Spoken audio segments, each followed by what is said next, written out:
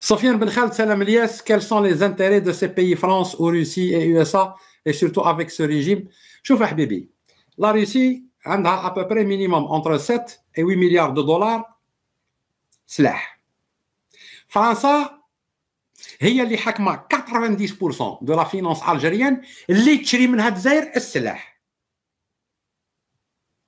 تروازيامون الامريكان حاكم لا زون هيدروكاربور كاع اين أين وين تكون؟ ريحة تاع بترول ولا تاع غاز؟ سي الامريكان الكليون ميم لا شينا لي كليون هو. باسكو هو يديسيدي في السعر.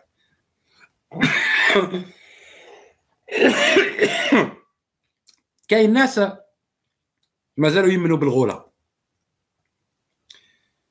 لاشين ولاشين تواجه الامريكان عندها ثلاث أسابيع.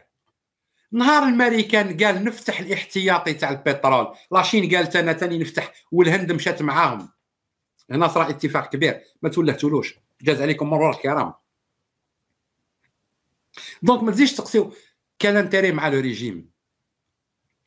الدول الأوروبية والدول القوية ماهيش هنا باه دير العدالة في العالم. ماهيش هنا باش تحمي الضعيف أي هنا باش تحمي مصالحها. ومن بعد تعطيها الغطاء اللي حبت.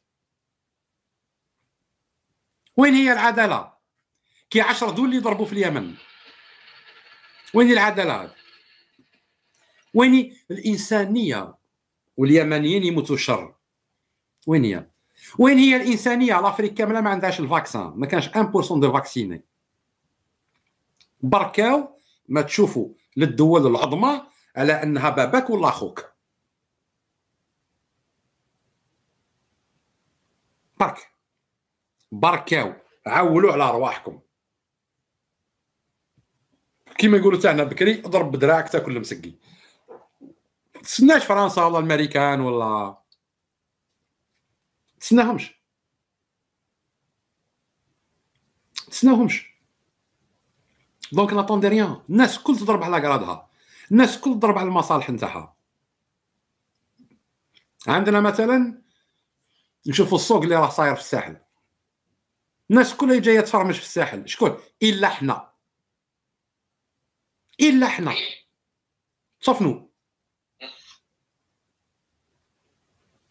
Lies, tu avais prévenu en parlant du Sahel. حسنا جمالين نجاوب ان سيرتان رمضان. رمضان ام بي ام باسكو جو سوبريمي قال لي أرواح أول معنا هنا وعطينا حلول. سي رمضان ماذا بك تروح؟ سي المومون تاع زيتوط وبن سديره وعبود فازي أه ناس كيما تا ما نسحقهمش عندي في اللايف انايا Pour l'éliminer, il faut même pas le Non, non, je l'élimine. ça, Je lui explique bark gentiment باللي qui peut aller ailleurs. Parce qu'un imbécile doit aller يعني يحط روحه في بلاصتو سي تو Exactement. دونك جو Je reviens disais, وي بور لو ساحل حمد وي excuse-moi, Lies. je disais qu'il ne faut pas que les gens aient la mémoire courte وي بيان سور concernant le Sahel. Tu avais parlé à l'époque et avant, bien avant, euh, Sirli, essaye de fermer ton micro s'il te plaît. Ah, merci. Sauf à Lies. Bien avant, je ne vais pas te dire à toi, rappelle-toi. Je demande aux, aux gens qui nous écoutent, certaines personnes de se rappeler. Avant qu'Erdogan ne rentre en Libye, je pense que Lies Rahmani vous a dit nous devons rentrer à l'intérieur des frontières, en dehors de nos frontières, à l'intérieur des frontières libyennes, de 180 km. Je ne sais plus jusqu'à le- 180 jusqu'à 200 km bande sécuritaire bombe sécuritaire. Pourquoi Parce que ما تستناوش واحد يشعل النار في الكولوار تاعك وتستنى في الدار وقت يدخل. Il vous avait avisé. قلنا قال قال il a dit aussi, Dias Rahmani a dit, euh, pour les bonnes mémoires, que si Erdogan se plaçait là-bas, il n'allait pas ramener son armée. Il allait ramener de vulgaires les mercenaires. Tout à fait. Ils étaient engagés à 5 000 dollars ou à 2 000 dollars parce qu'il ne va pas ramener des Turcs combattre.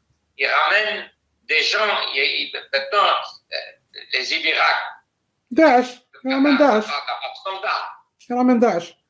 Il ramène Daesh, voilà. Gournel Kontani, qui comme nous, Erdogan ne va pas leur payer un billet de retour en Turquie. Ah, pas du tout, là, il va, mais mais bien sûr, mais ben, ça sera une zone de non-droit comme là. Voilà, maintenant ce qui se passe sur le Sahel, yes, si tu permets, tu as bien dit que la grande bataille qui va se passer au Sahel ne serait plus française. Elle serait russe et américaine. Et chinoise. Et américaine, donc. Et maintenant, donc américaine. Les Américains arrivent. À cette époque, tu avais bien parlé des hmm. Russes. Hmm. Tout à fait. Tu as bien parlé des Russes. Tout à fait. Qui s'implantent donc du Soudan jusqu'au Mali maintenant. Voilà, ils sont en Afrique centrale. Un point alors que toi, tu avais conseillé que nous pénétrions pas jusqu'au Mali, jusqu'au Burkina Faso et jusqu'au Niger. Tout à fait. Voilà. Je voulais faire une autre parenthèse là-dessus, hmm. puisque tu parlais du Sahel. Parce que... un peu les gens, au lieu de leur dire allez revoir nos lives, j'essaye en deux, trois mots, à chaque fois qu'on va faire un live list, d'essayer de nous rappeler ce qu'on a dit et ce qui s'est passé, parce qu'on n'a jamais rien dit qui ne s'est pas passé. C'est un point que je voulais faire. Merci, merci, Ahmed. Vous avez tout à fait raison de rappeler إنما الذكرى تنفع المؤمنين.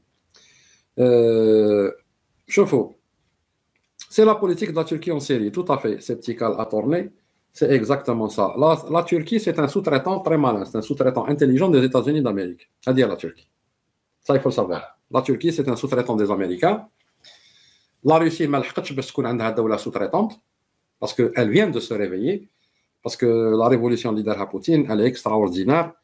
C'est-à-dire لا روسي كيفاه كانت وين راهي درك. C'est extraordinaire. بها Eh, Et maintenant, c'est une puissance. Donc, on a celui qui dit que la troisième guerre mondiale, il n'y aura pas de troisième guerre mondiale, là, conflit militaire.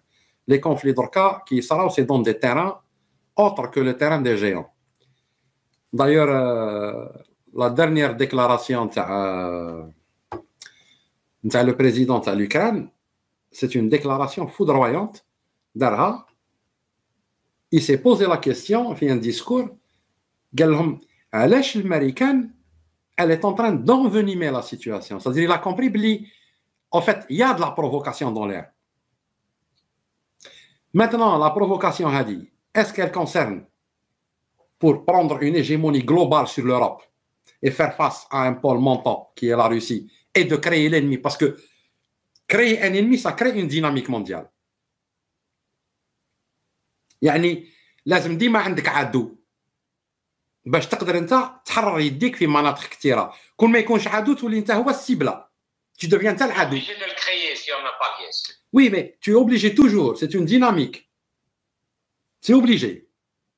Donc, on voit le pôle qui monte. C'est la Russie qui écrit. Donc, on une, euh, si vous voulez, une deuxième phase de la guerre froide, les classes.